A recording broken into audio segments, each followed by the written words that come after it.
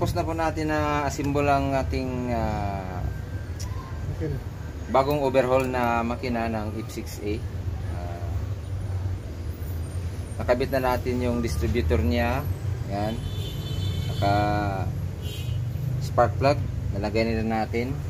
Ngayon, ah, meron akong kasamahan dito, dalawa. Ah, parang china-challenge ako na ano, Ah, gusto daw nilang malaman kung umaandar ba daw yung makina na walang karburador. Kung alam na ninyo tungkol sa Suzuki, baka maka-encounter kayo ng ganitong sitwasyon.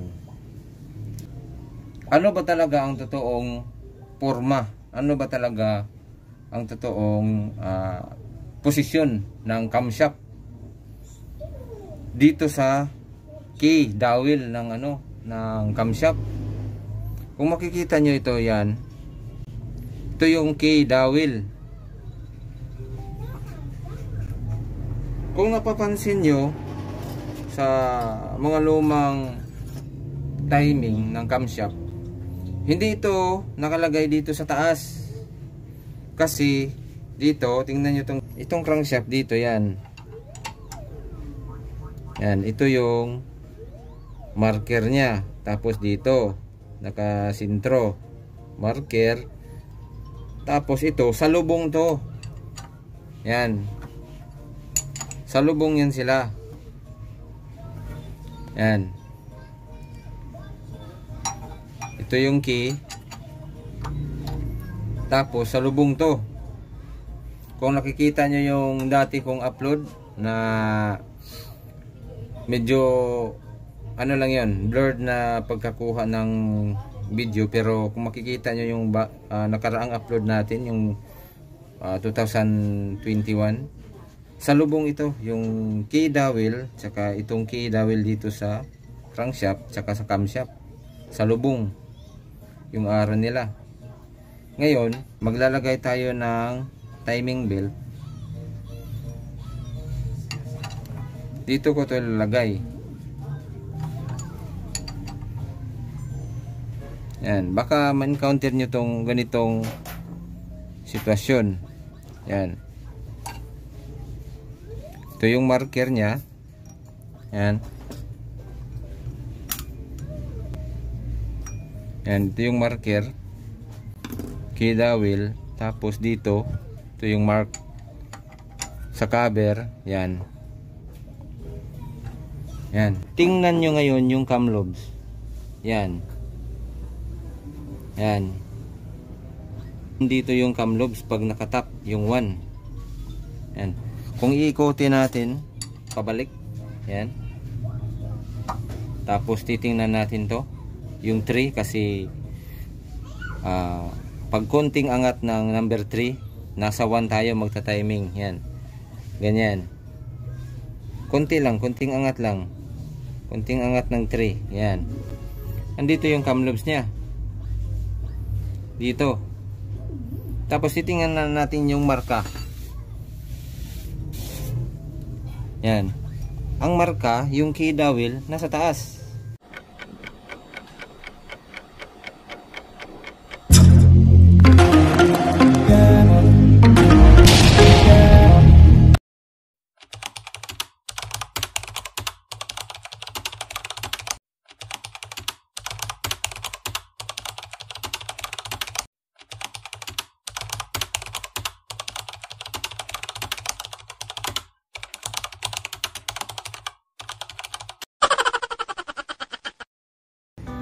Magandang araw sa lahat. O, umpisahan natin agad yung ating ah, overhauling na Suzuki F6E. Dito tayo ngayon sa pag sitting ng piston tsaka piston ring.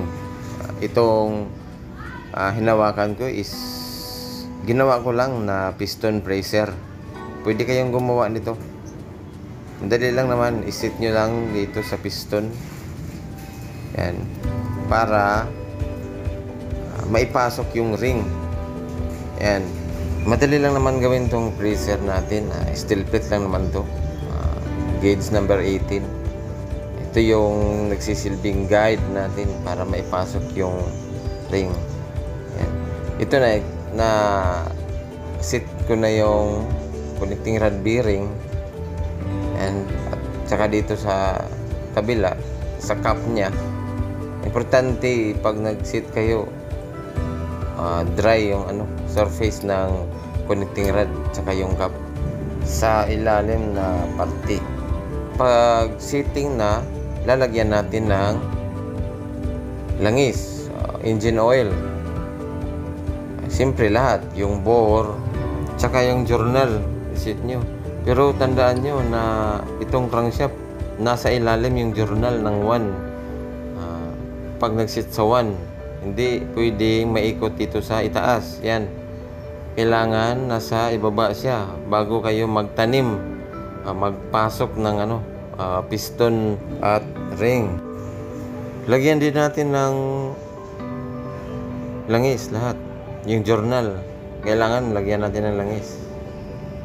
Bago tayo mag sitting bago tayo bago natin ipasok yung ano uh, piston sa ring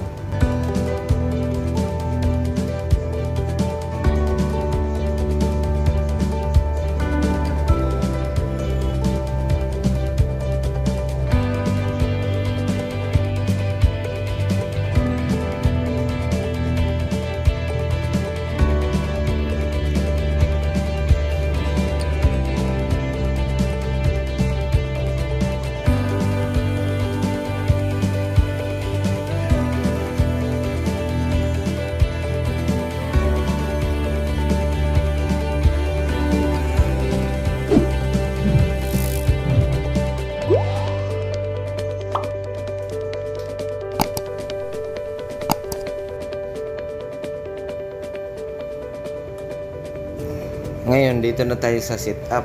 Uh, sitting. Kailangan itong arrow. Dito to sa front side. Siyempre, sa front side. Yan. Ito yung uh, position niya. Yan, ito yung nuts ng uh, Conrad sa ilalim sa side ng oil filter Uh, ito ang dapat tandaan natin, uh, yung piston ring. Dapat naka-arrange ito. Yung gap, yan. Hanapin nyo yung gap. Tapos, ilagay nyo sa bahagi ng skirt ng piston. Yan, dito. So, walang butas. Uh, hindi pwede mailagay dito sa sa side ng piston pin. Hindi pwede. Kailangan nasa skirt siya. Tapos, yung gap kailangan uh, baliktaran para uh, maganda yung sit up natin saka hindi madaling umusok yung makina. Pag nag-overhaul kayo hindi madaling umusok hindi madaling mag blue by yung makina. Kailangan uh, kailangan kabilaan yung sit up ng gap ng mga ring first ring, second ring, tsaka yung oil ring. Kailangan kabilaan. Pero hindi pwede andun sa piston pin. Kailangan dito lang sa skirt niya. Yan. Bago natin ipasok. Tingnan nyo lang yung setup natin. Yan.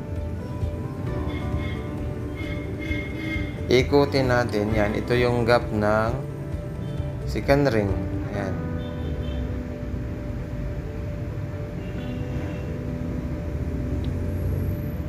Tapos dito yung first string. Yan. Kabilaan sila. Tapos sa unang oil ring, yung una, dito rin uh,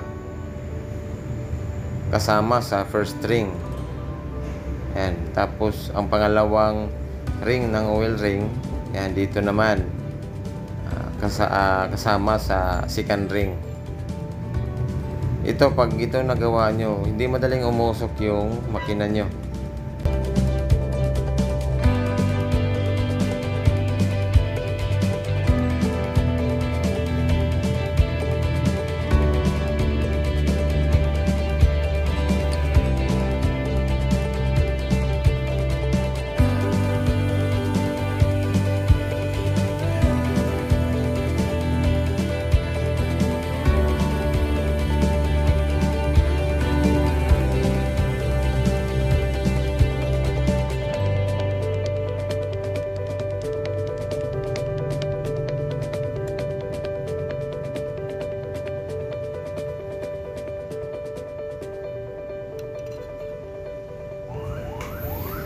Ayan, sit up na tayo. Ah, ipasok na natin tong piston sa ring.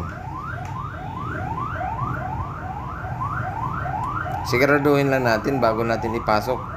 Ah, kailangan eh, mahirap din pag pabalik-balik tayo. Kailangan masigurado. Tapos tingnan nyo yung arrow ah, nasa ah, front side. Yung arrow ng piston.